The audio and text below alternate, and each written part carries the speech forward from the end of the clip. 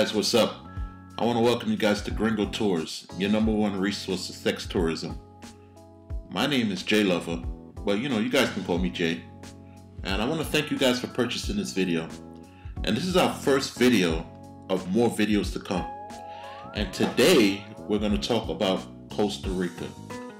Yes, Costa Rica. But before we get into all that, I want to explain what the hell is Gringo Tours. So I know you guys are saying, what the hell is Gringo Tours? And you know? Why start a Gringo Tours? You know what? What is that? What the hell is that about?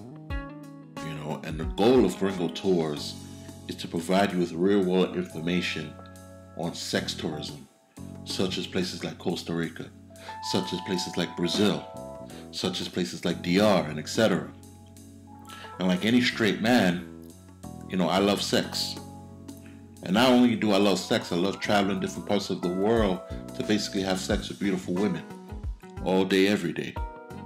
You know, I'm what the media might call a mongerer. And as a fellow mongerer, you know, we basically travel to different sex spots. You know, but when I try to find information on different sex spots, there's, you know, very little, if little information on the internet. You know, they got places like uh, International Sex Guide, and you know, shout out to International Sex Guide. That's a really good resource to find information on sex tourism. But you know, let's face it, you have to re- read long, long, long paragraphs of text on a person's experience.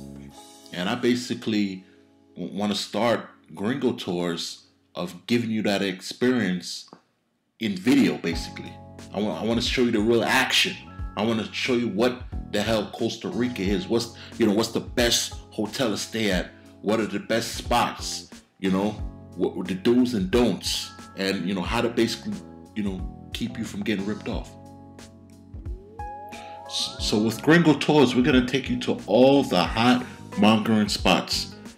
You know, Costa Rica is our first video, but we're gonna take you to the Dominican Republic after this. We're gonna take you to the Philippines. You know, we're going to take you to Brazil. You know, we're going to take you to Thailand. You know, we're going to take you to Colombia and many, many, many more places.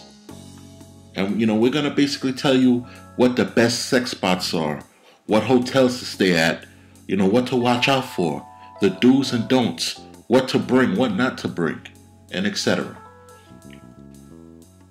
So I know the big question you're asking is, why go to Costa Rica? You know, what's the big deal? Well, let me tell you this, man. I just came back from there last week, and man, I had a ball, man. There's so many bad bitches in Costa Rica. So many, I mean, supermodel bitches. And you know, what's so funny is that you don't really hear too much about Costa Rica. Well, at least in my circle. You know, I pretty much, you know, hear about DR, Brazil, Thailand. You know, you don't really hear too much about Costa Rica. And man, oh my God, there's so many bad bitches. But before I get into all that, let me just give you a little detour of Costa Rica. Costa Rica pretty much borders Nicaragua and Panama. It, it pretty much borders that those two countries. And you know, the main spot is a place called San Jose. San Jose. And San Jose, pretty much all the, the girls, all the working girls in Central America pretty much go to San Jose to, you know, basically go to work, you know. So, like I said, Costa Rica is pretty much the central hub for working girls in Central America. You can probably even say South America, but that's probably stretching it. But the main place they go to in Costa Rica, San Jose, is a place called the Hotel Del Rey. The Hotel Del Rey. The Hotel Del Rey got some of the baddest bitches I've ever seen in my life. I mean, supermodel looking bitches straight out of a magazine. You know, they all come to this one place. And this one place, you're gonna find a lot of Colombians, you know, a lot of Colombian women. You're gonna find women from Nicaragua. You're gonna find women from, you know, pretty much Dominican, Panamanian, and even in Brazil. So a lot of these girls come to Costa Rica, pretty much to Del Rey. They pretty much come to this one spot. So you're asking, why do they come to Costa Rica? What is so special about Costa Rica? Why do they come? Well, there, there's a million reasons why they come. But the main reason why they come to Costa Rica is pretty much prostitution is legal. You know, due to uh, Costa Rica's pro liberal laws, prostitution is legal. You don't have to worry about getting locked up. The only thing um, that's illegal is pimping. You can't pimp, but selling your body is pretty much okay. Um, another reason why they come to Costa Rica is because they don't want their families to find out, you know, what they're doing. You know, they don't want their mom to know that their little girl is hoeing. So a lot of them travel from Colombia, they travel from Nicaragua, Dominican Republic, because it's you know it's far. They don't have to worry about their brother finding out or their sister or their mom. It's in a different country. They can do their business. You know, they could say, oh, they have another job somewhere. You know, all that bullshit. And uh, uh, another reason why they come is a lot of you know retirees, a lot of gringos come to Costa Rica to retire. You know, and you're going to run into a lot of Americans and Europeans with a lot of disposable income. Costa Rica uses a currency called colon or colones. That's their money. Colon and colones. And as of, you know, this is what the outlook looked as of 2012. And as of 2012, for every 100, you get about 51,000 colones. And like I said, as of 2012, you know, this is based on 2012 facts. Uh, it could change, you know, later, you know, 2013, 2014. It could be higher or lower. But as of 2012, for every 100, you get 51,000 colones. Now, I know you guys are asking, you know, how much would a girl in Costa Rica cost me? You know, what is the, the usual price? And I would tell you that it's around, it usually starts around $100. And that's maybe for an hour, two hours, and, you know, maybe one pop. It depends on the girl. But the main thing you have to negotiate everything up front. If you want a bareback BJ, negotiate that up front. Negotiate everything up front. Don't wait till you get in the room and try to negotiate because you're going to get a bad experience. And, you know, I know other spots where you can get them as low as $20. But, you know, we'll talk about this information a little bit later in the video. So you're hyped up to go to Costa Rica. You finally said, hey, I'm going to pull the trigger. But before you do that, there's a little informa- travel information you need to know. If you're in the United States or you're an EU citizen, you're going to need a passport. You're going to need a passport. As of 2012, United States citizens and citizens from Europe do not need a visa. If you're from uh, another, you know, country, please check with the Costa Rican embassy on the requirements. And when you do fly, or when you do decide to book your flight, you, are gonna you're gonna be flying into San Jose. San Jose is where you're gonna be flying, and the airport code is SJO. SJO. That's where you're gonna be flying into. Now I know you may be asking, what's the best time to come to Costa Rica for mongering. You know, what's the best time? And I would say the best time to come is probably late October to early December. Why? Because rainy season is rainy season is pretty much over around late October, and the flights are a lot cheaper around uh, late October, early December. Um, the hotels are much cheaper you know, they're much, much cheaper. And uh, the girls are willing to negotiate, you know, because, you know, there's not too many gringos in town. And they're trying to make as much as money as possible for the holiday for, for the holidays, basically Christmas. So, you know, they're more willing to negotiate, I would say. I would say the worst time to come to Costa Rica for mongering, I would have to say around Christmas. Christmas and around New Year's, you want to keep away from Costa Rica because it's a very, very busy time. It's a pretty much a ghost town, you can say, because a lot of girls leave town to spend time with their family during those holidays, which is um, Christmas time. And also, I heard a lot of locals get an extra paycheck, a month's salary during December to help out with, uh, you know, the Christmas bills, basically. And I also heard liquor is restricted on certain days around that time. And also, Easter time is another bad time to uh, come to Costa Rica. So I would say stay away from those days. Don't don't don't go around Christmas time and don't go around Easter time. Those are the worst times to come to Costa Rica. So I know I'm boring you guys with slides and such. I know you're asking, you know, where's the video? Where's the video? I want to see some video. I want to see some actual footage. So right now, as you can see, you know, I just landed. I just landed in San Jose, Costa Rica. And right now I'm in a cab and we're heading to the Hotel Del Rey. That's where I'll be staying uh, on this trip. I'll be staying at the Hotel Del Rey. And we basically, we basically flew from the East Coast to San Jose. The flight time was about five hours, and it took like another hour to get through customs. And also, guys, when you when you're on the plane, make sure uh, when you get the custom form, make sure you fill that out uh, on the plane. So you know when you land, you can, you can just go through very quickly. So like I can like as you can see, we're in Costa Rica, and like I said before, you know I'm very impressed with Costa Rica, San Jose. You know it's it's very modern, has a very modern feel. You know compared to other uh, countries like you know third world countries.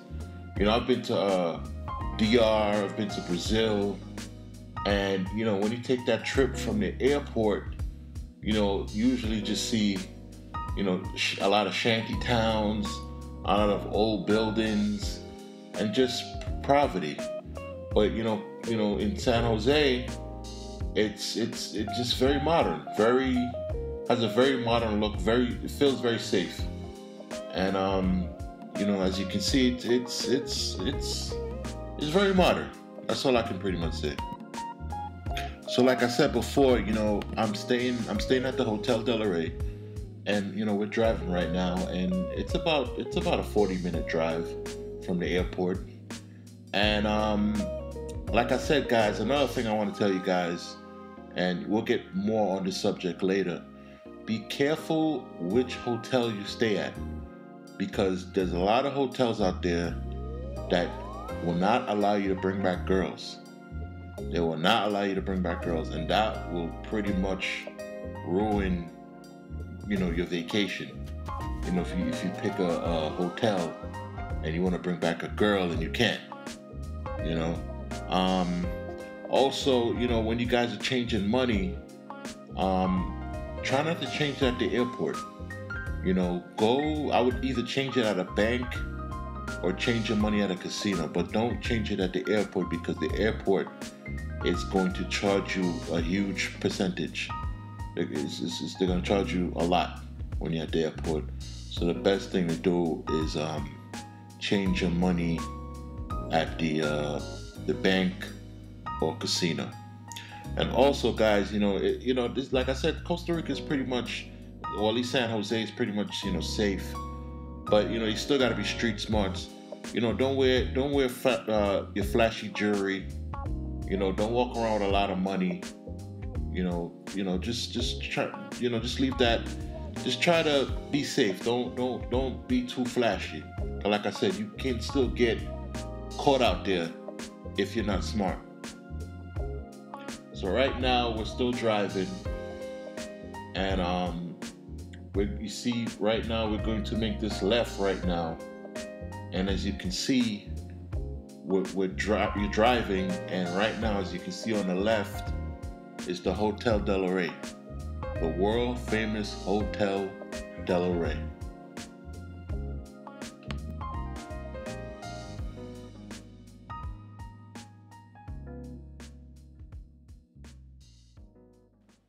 So right now we're to take it to the slides. We're to go back to the slides for a bit because I want to explain something very important to you guys when you guys are planning your trip to Costa Rica.